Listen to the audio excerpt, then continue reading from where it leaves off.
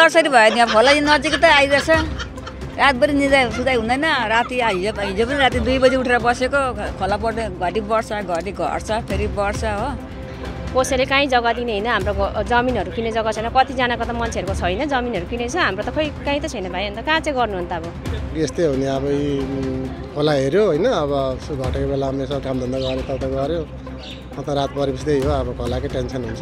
अब यो एडुकेसनले अब जो अब सरकारहरूले हामीले चाहिँ राम्रो कि त दौरा बाँधिदिनु पऱ्यो अगर दिनु सकेन भने सेफ्टी चाहियो हामीले सिधै कुरो।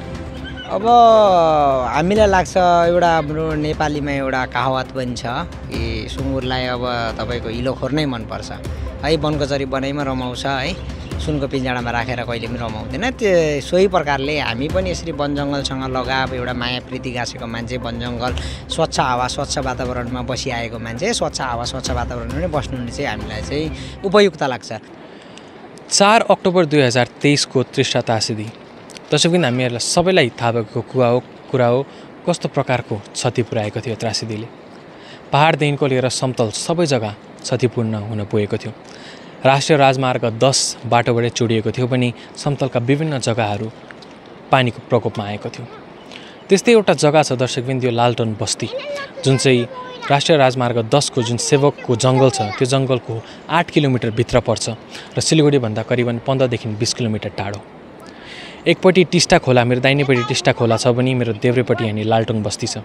र एकपट्टि खोला र अर्कोपट्टि जङ्गलको बिचमा छ यो लालटङ बस्ती जुन चाहिँ जलपाइगुडी जिल्लाको डाबग्राम एक ग्राम पञ्चायतमा पर्ने गर्छ। र दर्शकबिन्द यस बस्तीमा पैँतिसवटा घरहरू छ भने करिबन दुई सयभन्दा बढी मानिसहरू यहाँनिर बसोबास गर्दै आइरहेका छन् र यहाँका मानिसहरू डरमा परिरहेका छन्। जुन चाहिँ आ चार अक्टोबरको जुन त्रासिदी भएको थियो त्यसले गर्दाखेरि यस जग्गामा रहेको यो बाँधहरू बलुवाले पुरिएको छ र त्यसले गर्दाखेरि अहिले जुन अविरल वर्षा भइरहेको छ त्यसले गर्दाखेरि टिस्टा खोलाको पानी अहिले गाउँतिर पसिरहेको अवस्था यहाँनिर छ। र त्यसले गर्दाखेरि मानिसहरू यहाँनिर राति सुत्न पाएका छैनन्। रात जागेर बसिरहेका छन् यस लालटङ बस्तीका बासिन्दाहरू। उहाँहरूलाई एउटै कुराको डर छ पानी बढ्यो भने हामी रात बिराल कता जानु? र उहाँहरूले गुहार लगाइरहेका छन् कि सरकारले उहाँहरूलाई केही यहाँनिर मद्दत गरिदियोस् कुनै सेफ जग्गामा लगोस् भनेर। आउनुहोस् यही लालटङ बस्तीका केही मानिसहरूसँग हामी कुराकानी गरौँ। उहाँहरूको के कस्तो अवस्था रहेको छ? गत वर्षको त्रासदी अगाडि उहाँहरूको अवस्था के कस्तो थियो त्यसपछि कस्तो रहेको छ र अहिले घरि जुन अहिलेको समयमा जस्तो हामी टिस्टामा देखिरहेको छौँ कस्तो प्रकारको यहाँनिर टिस्टा खोलाले प्रभाव पारिरहेको छ भने त्यसरी नै यस लालटङ बस्तीमा के कस्तो अवस्थाहरू रहेको छ यहाँ हामी यहीँका मानिसहरूसँग जानौँ। मेरो पलमान छेत्री। कति वर्षदेखि यहाँ बसिरहेको यहाँ बसेको त मेरो जन्म यतै भन्दा पनि भयो अब होइन? अब बाबा पहिलेदेखि बसेको। म चाहिँ यतै नै अब यिनै केटाकेटीबाटै हुर्केको हो यिनै। यस्तो अवस्था है। यो- अक्टोबर हजुर।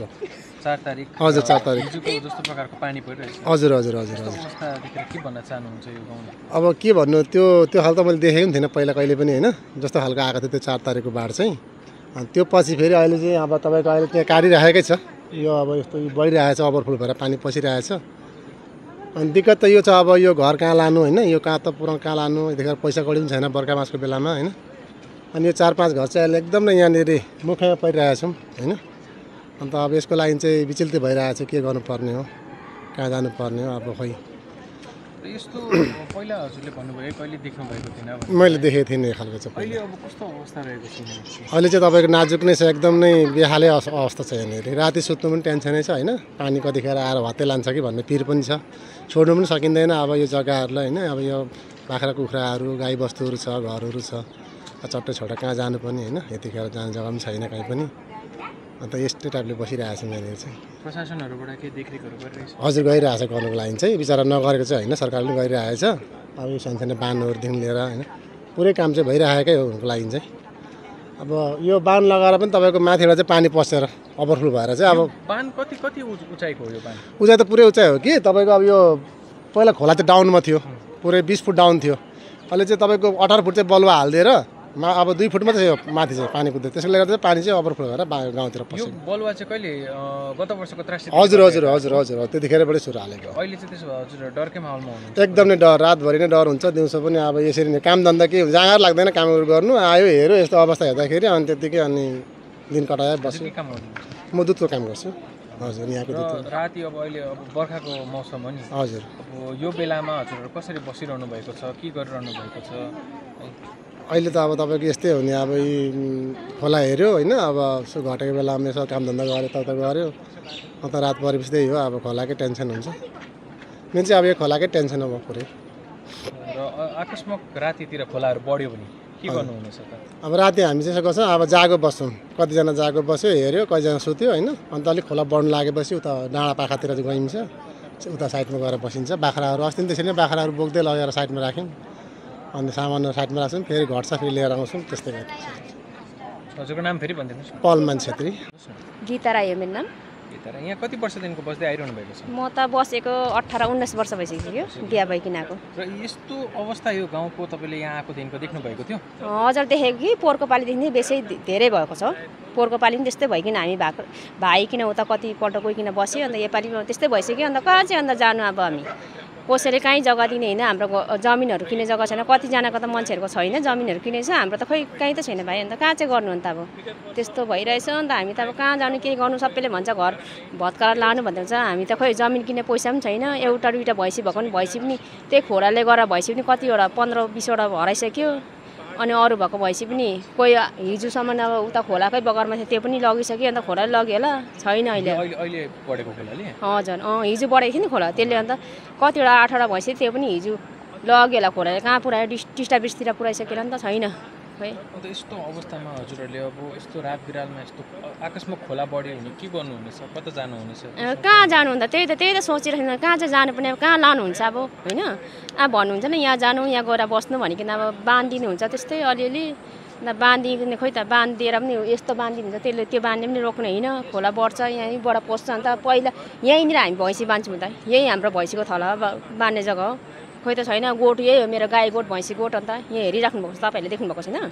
यही हो भैँसी बाँध्ने गाई बाँध्ने छैन अब यहाँ लिएर कहाँ बाँध्नु अहिले मान्छे हिँड्दा त कस्तो हुन्छ अन्त?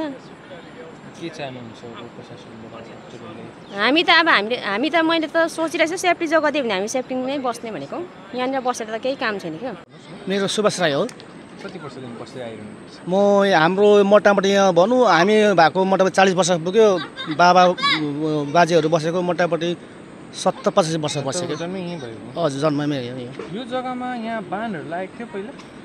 पहिला सिपाम पालामा त थिएन। अलि जब सिपाम पालामा चाहिँ एउटा मतलब भनौँ अस्सी नब्बेको काम भएको थियो।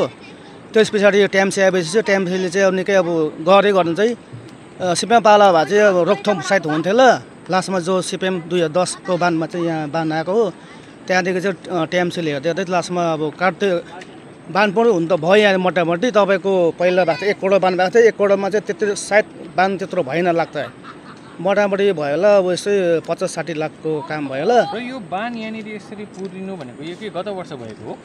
यो यो खासमा भने तपाईँको यो जुन बाढ आएको थियो दुई हजार तेइसको चार तारिक त्यो घटनाले चाहिँ अब त्यो घटनामा त्यत्रो भयानक चाहिँ पानी आएको थिएन आउनु चाहिँ हो। यो तपाईँको हिजो अस्ति यो तपाईँको कति तारिक भन्दाखेरि मैले तारिक पनि बिर्स्यो मोटामोटी त्यही छ सात तारिकको। त्यसले चाहिँ भइरहेको आयो यहाँ चाहिँ। यहाँ किन गाउँठाउँमा सबै जग्गामा तपाईँको गोठ घरमा कसैको आँगनतिर कसैको घर बग घरकोतिर पानी कुद्दैछ कसैको खाना यो चुला जल्दैन कसैको खानुको मुस्किल भइरहेको छ पुरा अप्सितो भइरहेको छ क्या?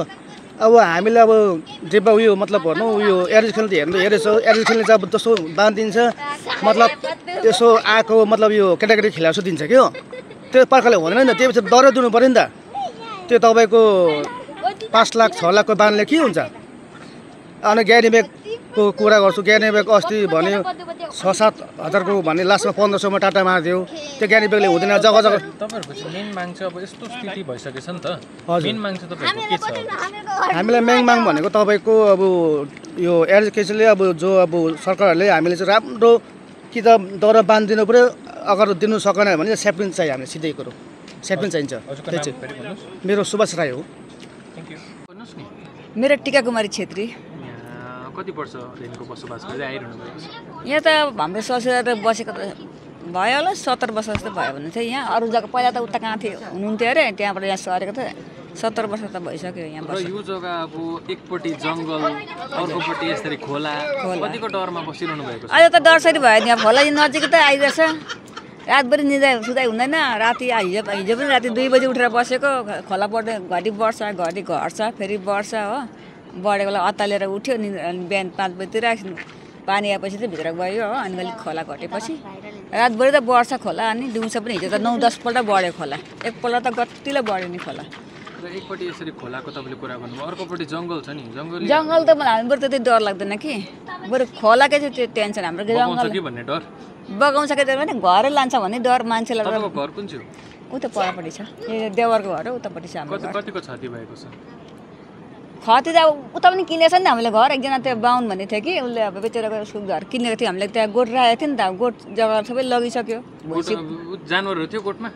त्यतिखेर थियो त अनि राति त्यो खोला बढेको बेलामा भैँसी गाई गोठ गाईहरू सबै धपाउँदा डाँडा उठायो हुँदाखेरि त्यतिखेर भैँसी आधी नै भैँसी हरायो। एक डेढ सौ भैँसीमा अहिले पचास साठीवटा पनि छैन हो। हराएर हराएर कता कता पुग्यो कहाँ कहाँ के के भयो। अनि जग्गा पनि त लग्यो खोलाले सबै।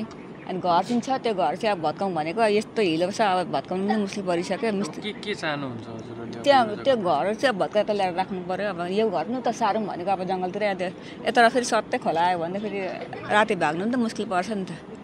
अनि अब गाई गोरु त धपाइन्छ मान्छेहरू पनि भागिन्छ। घरमा जिनिसपातहरू छ घरको के दुःख गरेर बनाएको काठपात पहिला त अब माटोको घर थियो अहिले त अब काठको बनाएको छ। अनि त मलाई लोभै लाग्छ नि त छोडेर हिँड्नु पनि त बाइचान्स खोला लगिदियो भने भनेर। उस्तै ठाउँमा यस्तो काठपाट किन्नु पनि कति महँगो पर्छ नि त? पहिला कति पहिला कति रात भइसक्यो नसुत्नु भएको चाहिँ खोलाको डरले? पहिला भन्नु त थुप्रो दिन भइसक्यो खोला बढ्नु थालेको। अस्ति के बेलादेखि पनि हो? यस्तै भयो पोहोर अक्टोबरदेखि अलिक ढिङ त भयो त अलिक। त्यति उयो लाग्यो टेन्सन लागेन। अहिले त बेसी चाहिँ हप्ता पन्ध्र दिन भइसक्यो भइसक्यो यस्तो बर्खा पनि लाग्यो नि त अब पानी आउनु थालेदेखिको चाहिँ खोला कम्ती कम्ती बढ्दै घट्दै बढ्दै घट्दै घट्दै। तर अस्ति हिजोदेखिको चाहिँ अत्याचारै भयो। हिजो जस्तो त खोला कहिले पनि बढेन नि त। नौ दसपल्ट दिनमा एकपल्ट दुईपल्ट छोड्थ्यो कम्ती हुन्थ्यो अब छोडे अब कम्ती बन्द कम्ती भयो भनेर चाहिँ अब घर उयो बसिन्थ्यो। त्यही हिजो बिहानदेखि चाहिँ अत्याचार भएर चाहिँ हाम्रो घरमा बस्नै डर लागिसक्यो भयो। हजुरको नाम फेरि मेरो नाम टिका कुमारी छेत्री हो। भन्नुहोस् न। मेरो नाम अङ्ग्रेज शेर्पा। कति वर्षदेखि यहाँ बसिरहनु भएको छ? यहाँ तपाईँको हाम्रो जन्म नै यहीँ हो। हामी जन्मेरै यहीँ बसिरहेको छौँ है। हाम्रो बाउ बाजे बराजु यहीँ बसेर आएको हो। र यस्तो स्थिति देख्दा अब यस्तो खोला बढेर आएको देख्दा है गत वर्षको त्रासदी भएको देख्दा के भन्न चाहनुहुन्छ? कस्तो अब हामीलाई लाग्छ एउटा हाम्रो नेपालीमा एउटा कहावत पनि छ कि सुँगुरलाई अब तपाईँको हिलोखोर नै मनपर्छ। है वनकचरी बनाइमा रमाउँछ है। सुनको पिँजडामा राखेर कहिले पनि रमाउँदैन। त्यो सोही प्रकारले हामी पनि यसरी वन जङ्गलसँग लगाव एउटा माया प्रीति गाँसेको मान्छे वन जङ्गल स्वच्छ हावा स्वच्छ वातावरणमा बसिआएको मान्छे स्वच्छ हावा स्वच्छ वातावरणमा नै बस्नु चाहिँ हामीलाई चाहिँ उपयुक्त लाग्छ। तर यहाँनिर के छ भन्दाखेरि विगत दिनदेखिको जुन चाहिँ चार अक्टोबरको जुन चाहिँ एउटा बाढ प्रकोप आयो यहाँनिर यस बाढ बाढ प्रकोपले हामीलाई चाहिँ सोलो पोइजनको काम गरिरहेको छ। बिस्तारै बिस्तारै बिस्तारै जति बेला बाढ आयो त्यति बेला यो पानीको स्तर यति साह्रो जलस्तर उठेको थिएन अनि र हामी ढुक्क पनि निश्चिन्त पनि थियौँ। यो एउटा प्रकोप टर्यो भनेर। तर आजको दिनमा हामीले हेर्दाखेरि चाहिँ यहाँ चाहिँ यो प्रकोपले चाहिँ पछाडि पछाडि पछाडि पछाडि यसको विकराल रूप देखाउँदै आइरहेको छ। यो यसो हेर्दाखेरि चाहिँ अब हाम्रो वासस्थान पक्कै पनि हामी लालटुङमा रहँदैनौँ भन्ने चाहिँ हामीले ठानिसकेका छौँ। र यहाँ अब जुन चाहिँ अहिले पानीको अवस्था छ हामी रातभरि सुत्न सकिरहेको छैनौँ। हामी चाहन्छौँ कि सम्बन्धित निकायले हाम्रो वासस्थानलाई सुरक्षित गर्नको लागि कुनै पनि एउटा बचाउको कुनै पनि एउटा अभियान चालु गरोस् र हामीलाई यहाँ यस हाम्रो जग्गामा सुरक्षित राखोस् भन्ने हाम्रो मेन उद्देश्य चाहिँ त्यही हो। हजुरहरूले केही उत्यो गर्नुभएको छ? अब जस्तो तपाईँले भन्नुभयो नि अब आस्ते आस्ते गर्दै सायद अब तपाईँहरू लालटनबाट यहाँबाट अब बाहिर जानुहुन्छ होला भने। त्यस्तो कुनै जग्गाहरू तपाईँले हेर्नु भएको छ? यहाँनिर आकस्मिक अब हजुरहरूले यो छोड्नै पर्ने अवस्था आयो भने रातारातै त्यस्तो कुनै जग्गामा जानेछु भनेर के सोच्नु भएको छ त्यस्तो? हजुर हजुर। यो चाहिँ कस्तो हुन्छ भन्दाखेरि अब तपाईँको यति साह्रो पनि अब मूर्ख त बन्नु भएन कि अब खोलै पसिसकेपछि पनि अब एउटा मुढामा अडेर पनि मेरो वासस्थान छोड्दिनँ भन्ने अठोट लिएर बस्ने मान्छे त छैन होला सायद है। तर अब हामीलाई जानै पर्यो भने पनि हामीलाई उपयुक्त ठाउँ जहाँ चाहिँ हामीलाई यसरी नै वन जङ्गलको छेउमा र हाम्रो यस्तै खालको यो वातावरण मिल्यो भने हामी अवश्य पनि यहाँबाट स्थानान्तरण हुनु हामी एकदम राजी छौँ। वन जङ्गलहरू चाहिँ हजुरले हजुर हजुर। वन हाम्रो पुरानो लगाउ छ हाम्रो बाउबाजेदेखिकै अब परापूर्वकालदेखिकै हामी वन जङ्गलमै बसेर आएको र यहाँको स्वच्छ वातावरणसँगै हामी जिएर आएको। यसलाई चाहिँ हामी वन जङ्गल बिना चाहिँ हामी कल्पना गर्न सक्दैनौँ हाम्रो जीवनलाई। अब कुनै पनि सहरको जग्गामा अथवा कुनै पनि पुलको मुनतिर कुनै पनि अरू जग्गामा अरू सोसाइटीमा लगेर हामीलाई राखिदियो भने चाहिँ सायद हामी त्यहाँ सर्भाइभ गर्न सक्दैनौँ। हामी त्यहाँनिर चाहिँ जस्तो लाग्छ हामीलाई। हजुरको नाम फेरि भनिदिनुहोस् अङ्गेल Sherpa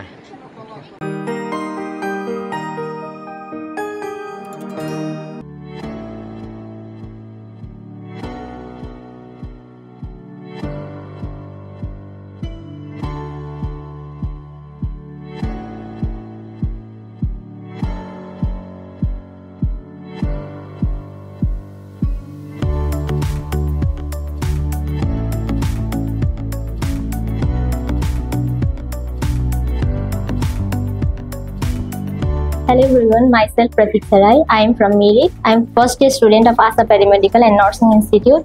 Currently, I am pursuing DMLT, which is basically a lab technician course. And the reason I chose ASA Paramedical and Nursing Institute is because of excellent facilities that this institute provides to students. And teachers are really uh, friendly. They try their level best to make us understand. ASA Paramedical and Nursing Institute involves their students not only into uh, theoretical but as well as into practical classes as well.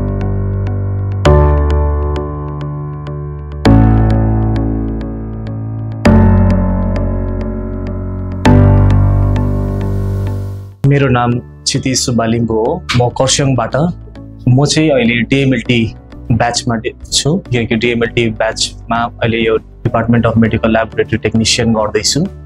र जब म यो फिल्डमा मतलब मतलब आइ आउन पुगेँ तब यो फिल्डमा आएर मैले धेरै कुरा जान्न पाएँ र धेरै कुरा मैले हामीले एउटा एक्सपिरियन्स गर्न पाएँ।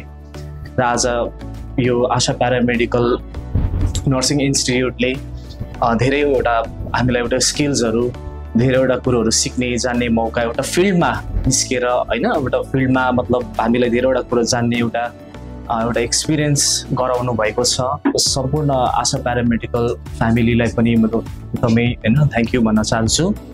अनि साथसाथमै म्यामहरू पनि जति पनि म्यामहरू एकदमै सपोर्टिभ हुनुहुन्छ एकदमै गाइडेन्स पनि दिनुहुन्छ उहाँहरूले र धेरै प्रत्येक चिजहरूमा पढाइको क्षेत्रमा भयो करिकुलर एक्टिभिटिजहरूमा भयो जेमा पनि इच एन्ड एभ्री मतलब सानो सानो कुरोदेखिको लिएर प्रत्येक चिजमा उहाँहरूले हामीलाई प्रपर एउटा गाइडेन्स दिनुहुन्छ र त्यही गाइडेन्सको कारणले गर्दाखेरि आज हामी एउटा धेरैवटा मतलब एउटा प्यारामेडिकल कोर्सेसको जुन चाहिँ नलेजेसहरू हामीले गेन गर्न सकिरहेका छौँ।